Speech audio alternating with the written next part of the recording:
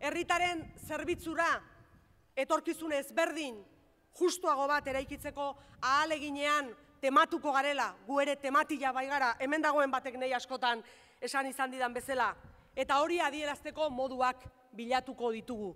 Eta hori adierazteko modu bat ere bada gaur, Iñaki eta Inoari gure babes osoa ematen diegula esateko gu ere beraien erabakien parte garelako. Besteren lekuan jartzen jakin, geure lekua ez galtzeko inoiz, duin da okikun lekuan egoteko beti.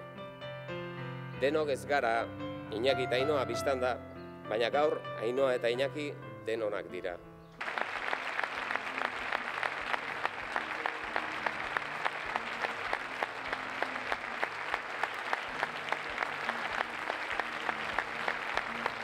Mila esker berezi bat Iñaki eta Amaiari.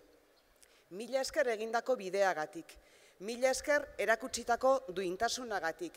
Mila esker herriari agindutakoa betetzeagatik. Mila esker bidea erakusteagatik eta bidea egiteagatik. Mila esker benetan Amaia eta Iñakiri.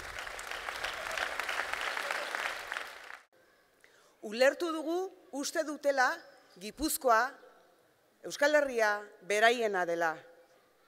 Politika egiteko eskubidea kendu nahi izan digute. Ulertu dugu.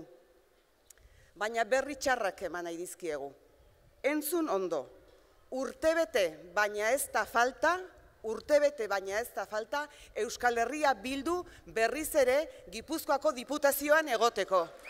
Eta beste politika bat egiteko. Eta duintasuna erakusteko urte bete besterik ez da falta.